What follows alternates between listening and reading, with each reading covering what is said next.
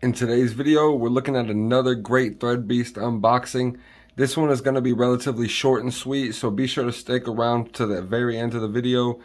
Like I said, it's going to be quick and easy. This is just a loyalty rewards box that I got. I just spent 2000 of my loyalty rewards and I got a ThreadBeast logo snapback.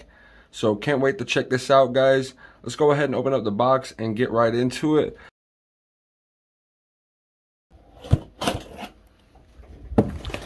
Give it a little slice there. Boozam. All by its lonesome. Just sitting there. And it's a little, a little dirty here. A little dusty, alright? You know what I'm saying here? Super cool though. Actually very nice quality snapback, I feel like. That's it, guys. Just wanted to show you that. I want to thank you all for watching. Don't forget to like, comment, and subscribe to my channel for more ThreadBeast videos and other products with real life applications. Hit that notification bell to stay up to date on the newest uploads. And as always, keep it real.